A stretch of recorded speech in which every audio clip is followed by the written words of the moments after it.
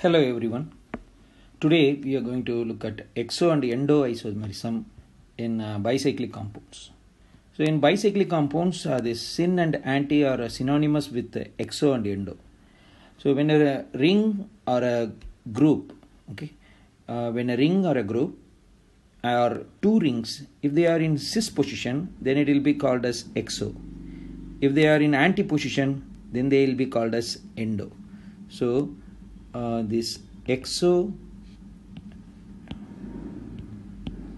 yeah exo is synonymous with uh, cis and the endo is synonymous with uh, trans okay?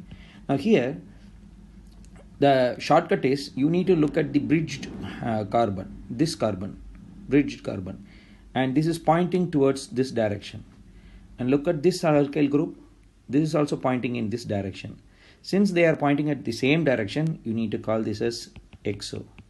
Here, they are pointing in opposite direction. This is pointing this side, this is pointing downside. That's why this is known as endo.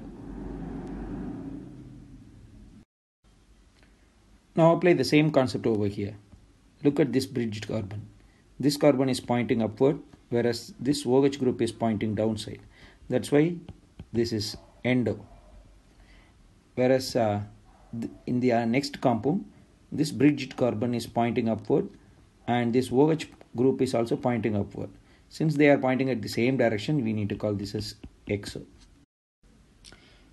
now um, we have a cyclohexene derivatives over here. So in the first compound in this compound um, the OH group and the Cl are pointing uh, in the same direction that is above the plane. So since they are pointing in the same direction we need to call this as exo. What about here?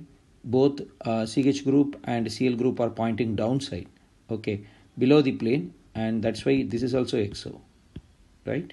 This is also exo.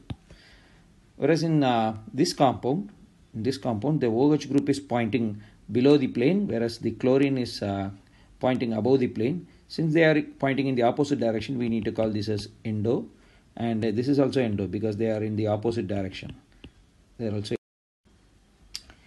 now look at these compounds guys. Uh, this is the bridgehead carbon. I show I told you this carbon is pointing above the plane okay above the plane and this chlorine is also pointing above the plane. That's why this is exo whereas here this bridged carbon is pointing above the plane and this chlorine is uh, below the plane right? So that's why we need to call this as endo. Now see here in the in this compound this is the bridge, car bridge carbon and this is pointing upwards. And this uh, ring this ring is also pointing upside. That's why we need to call this as exo whereas uh, in the in its isomer this uh, bridge carbon is pointing upside whereas this group is pointing downside. That's why we need to call this as endo. Thank you guys